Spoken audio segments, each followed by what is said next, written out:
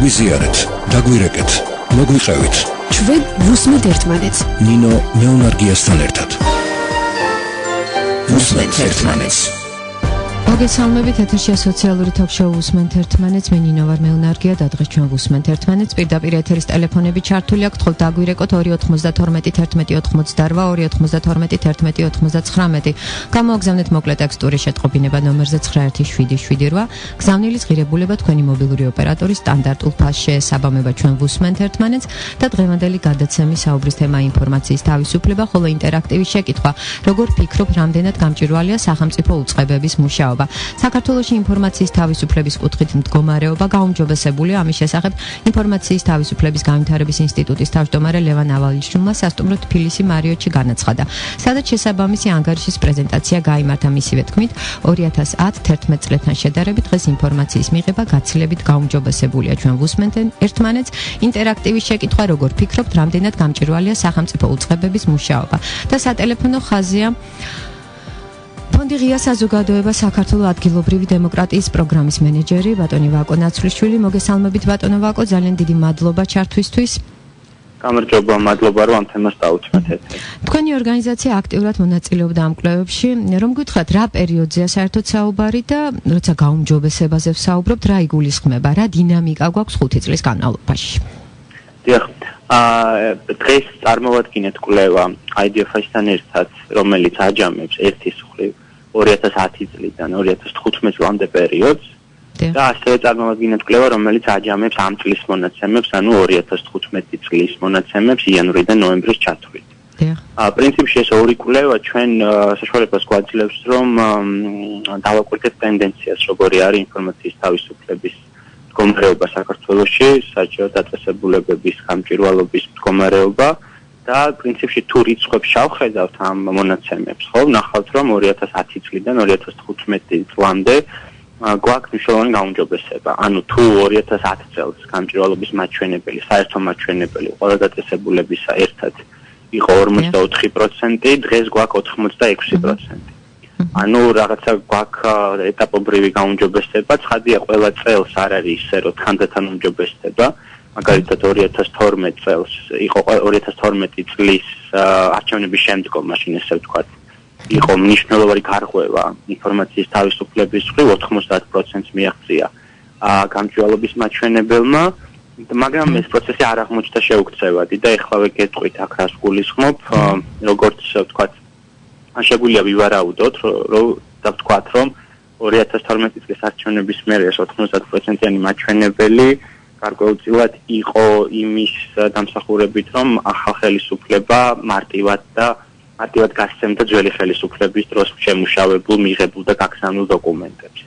2000 აი ამ ჩვენების შემდგომ თანდათან იკლებს ინფორმაციის თავისუფლების კომარეობა 13-14 წლებში ჩვენ უკვე 82% გვაქვს და 2015 წელს ისევ იზრდება.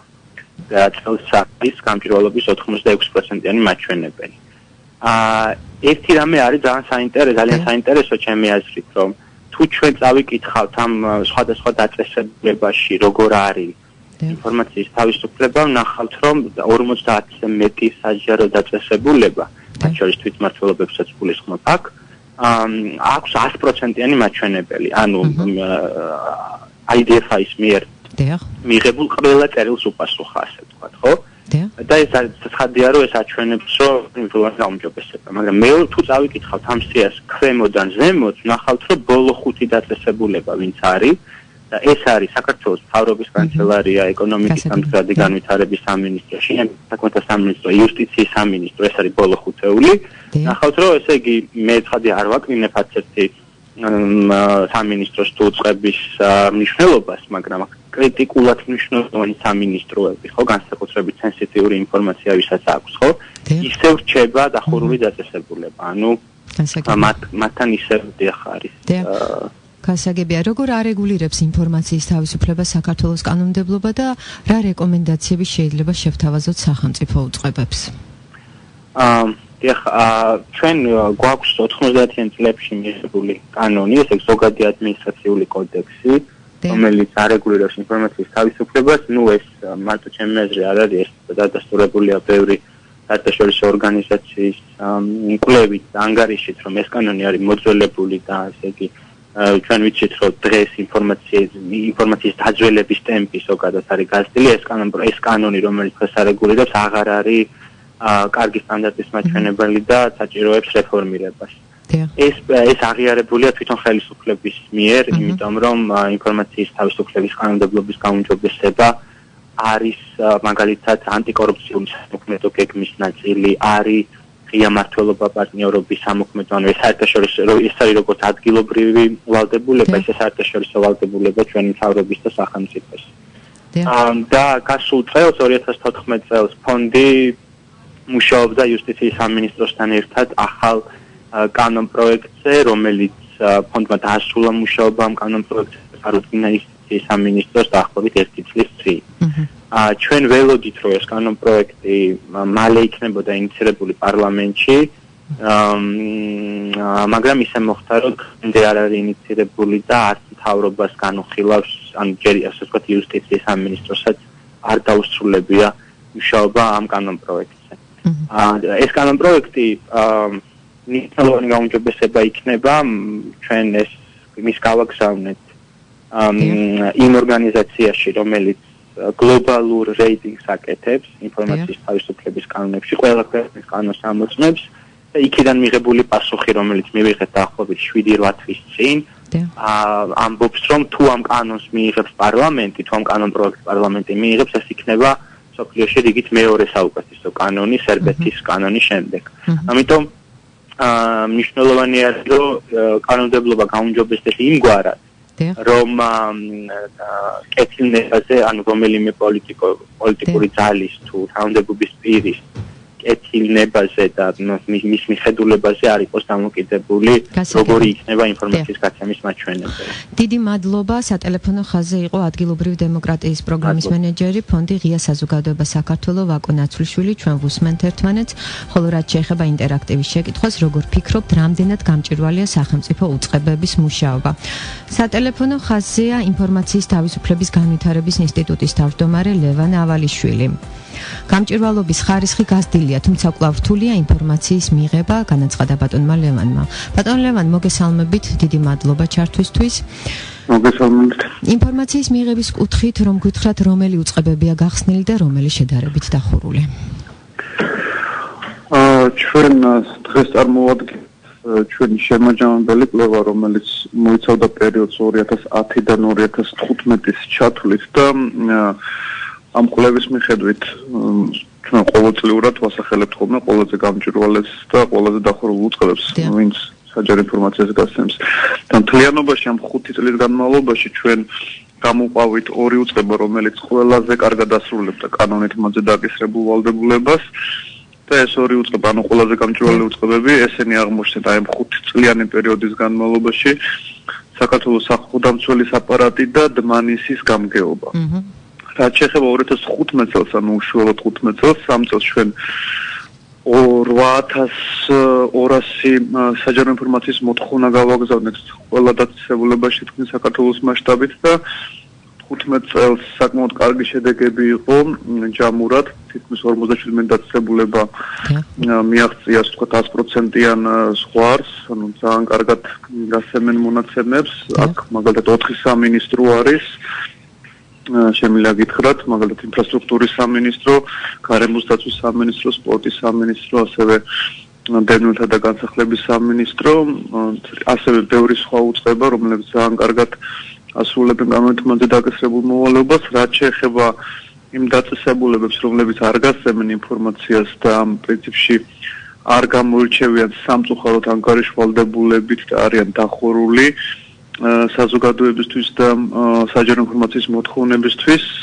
წელს ჩვენ ესეთად დავასახელეთ ეკონომიკის სამინისტრო რომელმაც 44 ჩვენი საჯარო ინფორმაციის მოთხოვნა დატოვა უპასუხოდ.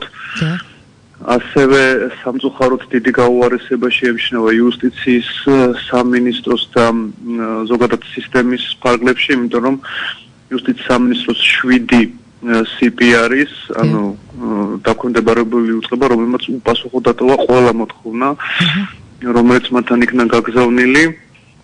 და მთელ საქართველოში ფაქტობრივად 204 დაწესებულებაში თუ 294 დაწესებულებაში მხოლოდ 7 დაწესებულება არის. მთელ საქართველოს მასშტაბით, თუმცა საერთოდ უპასუხო დატოვა და სწორედ ჯუსტიციის სამინისტროს 7 დაქვემდებარებული უწყება და წალკის საკრებულო. გასაგებია, რაც შეეხება რეკომენდაციებს, რას ურჩევთ ხელისუფლებას ინფორმაციის თავისუფლების შესახებ ახალი კანონის მიღება რატომ არის აუცილებელი? ჩვენი კლუბის ფარგლებში პრინციპში დადასტურდა ის, რომ დღეს არსებული კანონმდებლობა მუშაობს, მაგრამ ხშირად ეს დამოკიდებულია, თქვა, თანდობის პირთან ნებაზე. აა ნუ კეთილსურვილზე, აი მენეჯმენტზე და უფრო ნაკლები გარანტია არის სამართლებრივი კუთხით და ხშირად ადამიანებს უწევთ სასამართლოს დავის მეშვეობით ინფორმაციის მიღება ეს პროცესი არის გაწელილი და ფაქტობრივად არ უწყობს ხელს იმას რომ მოსახლეობამ ფართოს თქვა საზოგადოებამ ჩვეულებრივმა მოქალაქეებმა სტუდენტებმა აქტიურად გამოიყენონ ეს უფლება თავიანთ ყოველდღიურ საქმიანობაში. ამიტომ მეტი გარანტია არის საჭირო იმისთვის რომ გასაგებია სისტემური ცვლილება მოხდეს. აქედან გამომდინარე ჩვენ შევიმუშავეთ ეს კანონპროექტი, რომელიც აქ იუსტიციის სამინისტროს და რომელიც ვალდებულებად აიღო საქართველოს მთავრობამ, რომ მიიღებდა ამ წელს სამწუხარო ჯერჯერობით არ არის მიღებული.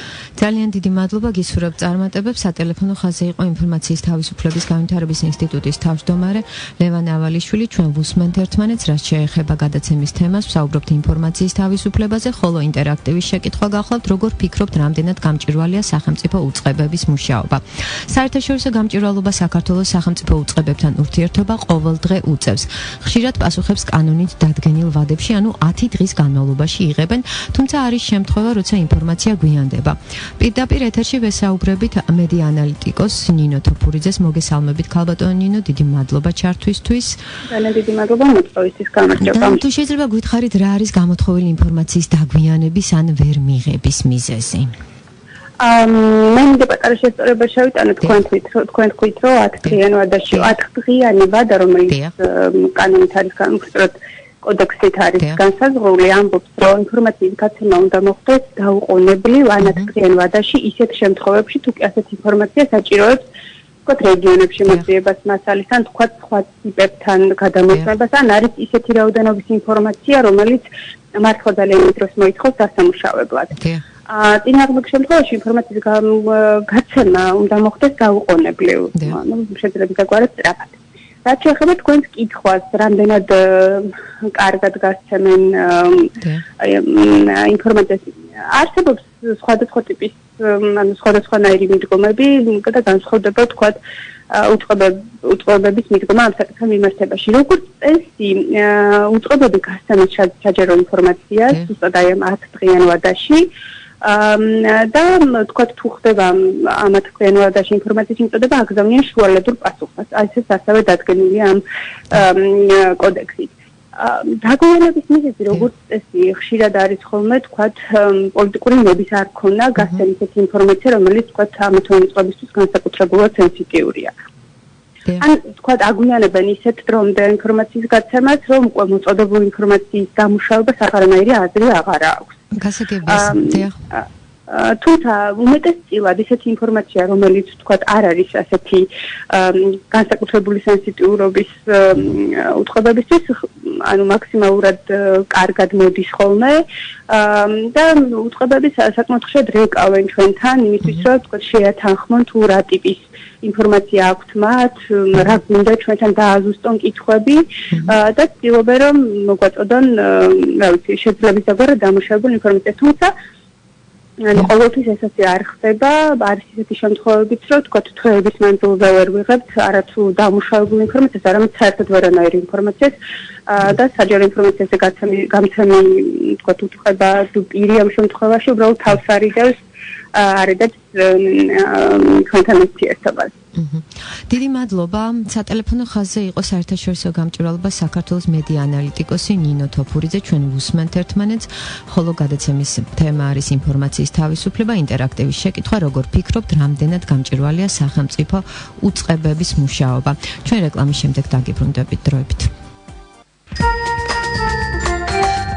გაგვიზიარეთ, დაგვირეკეთ, მოგვიყევით. 292 11 88 292 11 99 უსმენთ ერთმანეთს კიდევ ერთხელ მოგესალმებით ჩვენი სე პირდაპირ ეთერში ვარ და შეგახსენებთ რომ თქვენ უსმენთ რადიო ემედის ახალ სოციალურ პროექტს უსმენთ ერთმანეთს მე ნინო მეუნარგია ვარ და ველი თქვენ სატელეფონო ზარებს ნომრებზე 2921188 2921189 შევეცდებით დაგეხმაროთ იმ სოციალური პრობლემების გადაჭრაში რომელიც გაწუხებთ ასევე შეგიძლიათ გამოაგზავნოთ მოკლე ტექსტური შეტყობინება ნომერზე 917778 გზავნილის ღირებულება თქვენი მობილური ოპერატორის სტანდარტულ ფასში შეესაბამება გაქვთ შეკითხვა გსურთ გაგვიზიაროთ თქვენი პრობლემა. დაგვირეკეთ ჩვენ ვუსმენთ ერთმანეთს.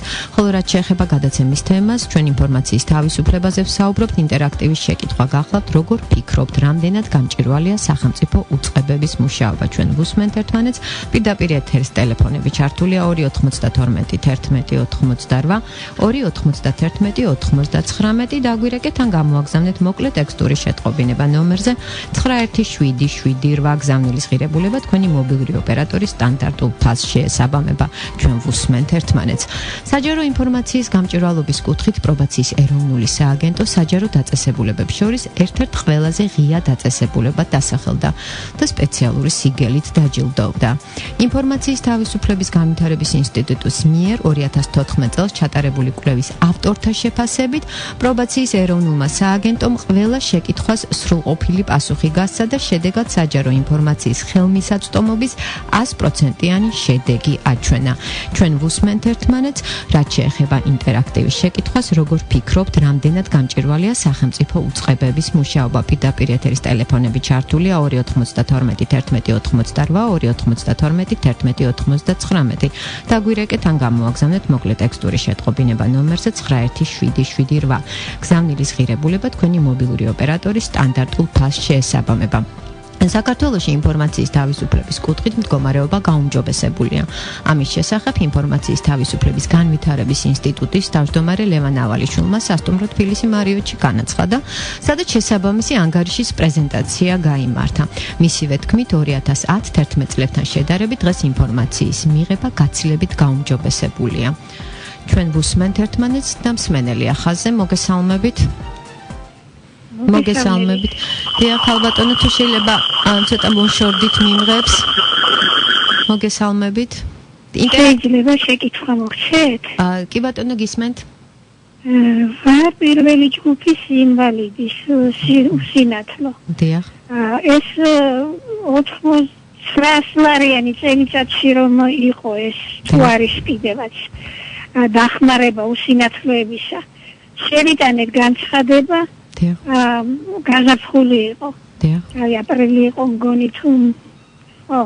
დიახ. და მე უთხრეს ვინც ჩემ პატრონობს უთხრეს რომ სიგარების ზღვარზე არ არისო და ვერ მისცემთო და რა შუაშია სიგარების ზღვარი როცა ეს კანონია უსინათლოთა დახმარება მილიონერიც რო იყო და მილიარდერი ჯერ ესეთი ღმერთს მაქნას დიახ მილიონი კი არა გასაგებია ქალბატონო იცით რა მაინტერესებს რომელ უწყებას მიმართეთ თქვენ? სად შეიტანეთ განცხადება სად შევიტანეთ და მერიას პასუხი?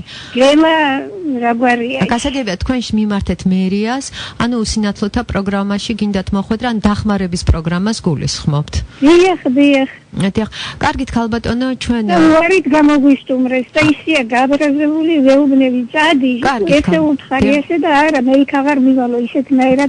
კარგით ქალბატონო ჩვენ აუცილებლად დავუკავშირდებით მერიას და გარკვეული პერიოდის მერე აუცილებლად გვექნება ჩვენ შეკითხვაზე თქვენ შეკითხვაზე პასუხი და შევეცდებით რომ დაგეხმაროთ ჩვენ ვუსმენთ ერთმანეთს პირდაპირ ეთერის ტელეფონები ჩართულია 292 1188 292 1199 დაგვირეკეთ ან გამოაგდენთ მოკლე ტექსტური შეტყობინება ნომერზე 917778 გზავნილის ღირებულება თქვენი მობილური ოპერატორის სტანდარტულ ფასში შეესაბამება გაგვთ შეკითხვა გსურთ გაგვიზიაროთ თქვენი პრობლემა, დაგვირეკეთ, ჩვენ ვართ მედიატორები, თქვენსა და იმ უწყებებს შორის, სადაც გაქვთ პრობლემა და შეძლებს დაგვარათ ჩვენი კომპეტენციის ფარგლებში, ჩვენ რასაკვირველია დაგეხმაროთ ვიხმარებით, რაც შეეხება დღევანდელი გადაცემის თემას, ჩვენ საუბრობთ ინფორმაციის თავისუფლებაზე, ხოლო ინტერაქტივის შეკითხვა გახლავთ, როგორ ფიქრობთ, რამდენად გამჭირვალეა სახელმწიფო უწყებების მუშაობა მსმენელი ახალზე. მოგესალმებით. მოგესალმებით. გისმენთ. შეკითხვა, კალბატონო, ისე სოციალური ტიპის შეკითხვა. თქვენი ხო სოციალური შოუ არის, არა? დიახ, სოციალური ток-შოუა, დიახ. იგი უგულავას დროს ეს ვაუჩერები რიგდებოდა ძალიან ისე ნორმალურად და მარტივად. დიახ. თუ გაგდანახარჩი გეძლებოდა თვეში ერთხელ 20 ლარიანი ვაუჩერი და ეხლა მოიგონეს რა?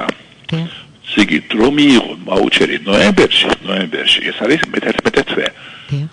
ზაფხულის თვეებში ივლისი აგვისტო უნდა კონდეს დანახარჩი 60 კილოვატი და მე მაგალითად მარტო ხელა პენსიონერი ვარ და სოფელში ვარ ამ დროს და დანახარჯი მაქვს ნულოვანი. გასაგებია. ნოემბერში პენს ესე იგი ვაუჩერი არ მომწეს.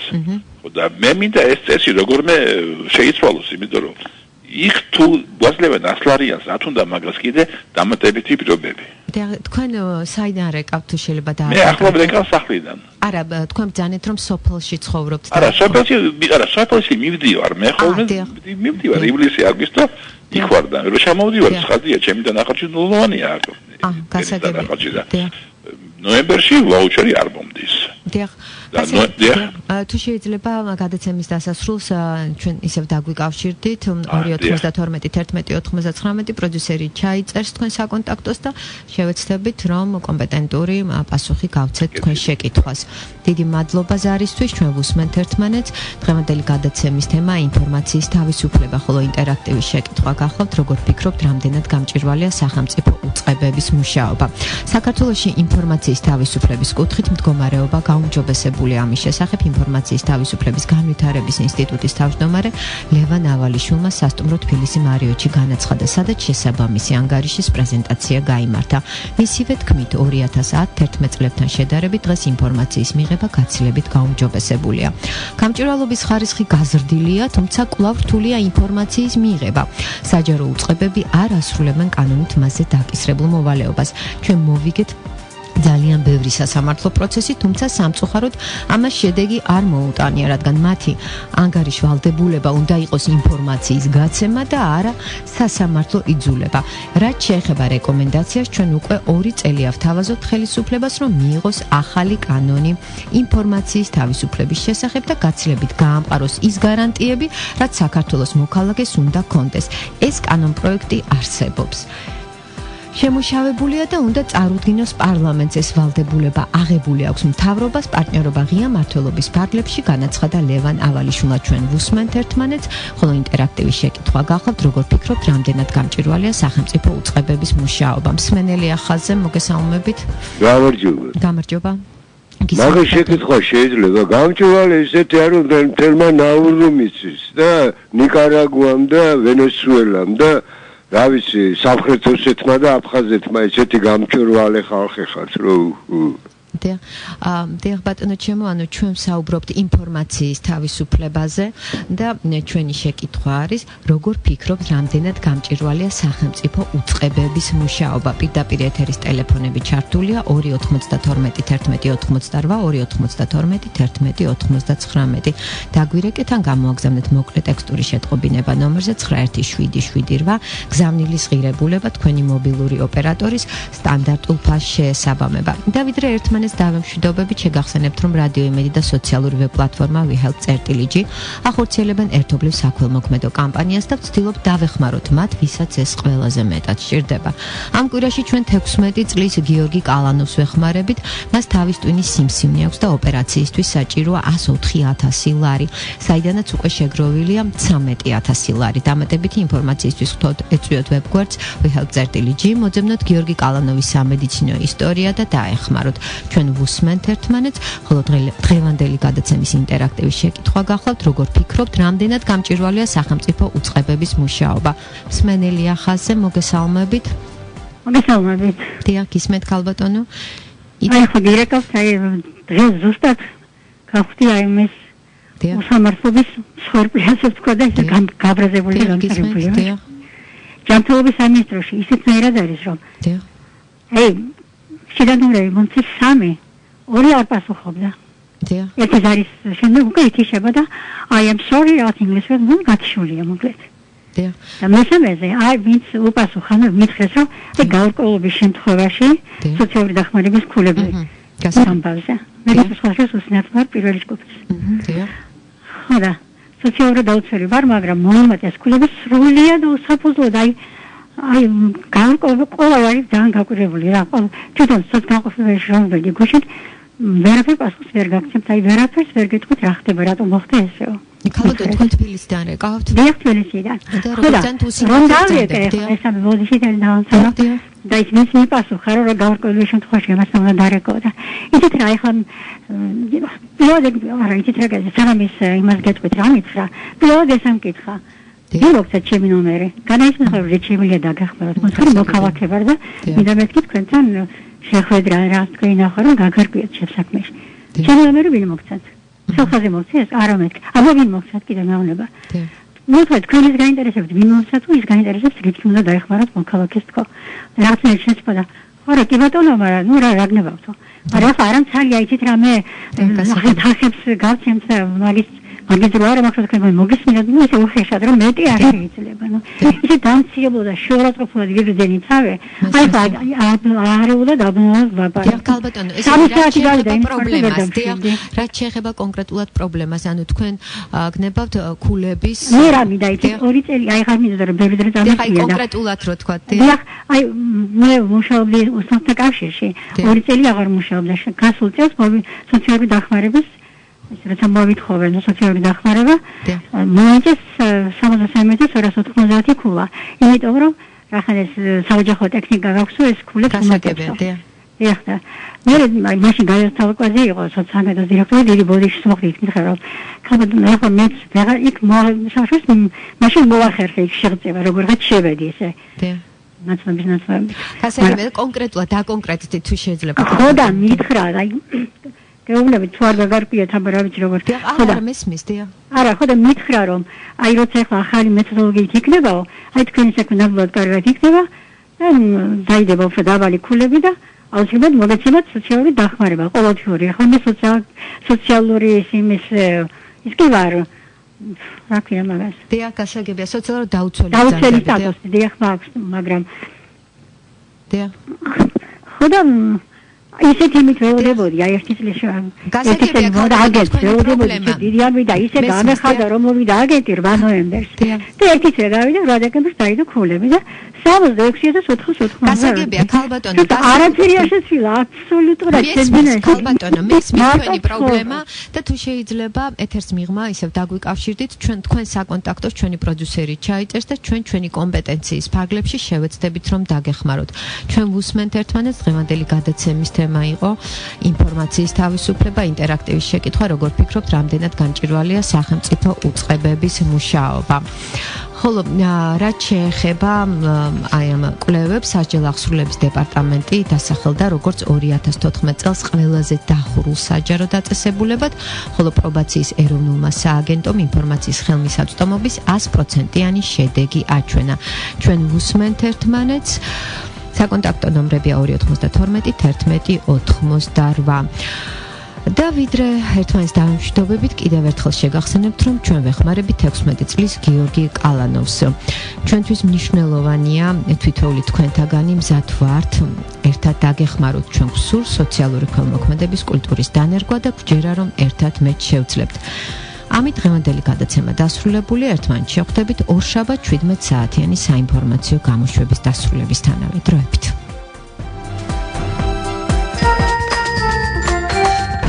გაგვიზიარეთ, დაგვირეკეთ, მოგვიწევით. ჩვენ ვუსმენთ ერთმანეთს. ნინო მეუნარგიასთან ერთად. ვუსმენთ ერთმანეთს.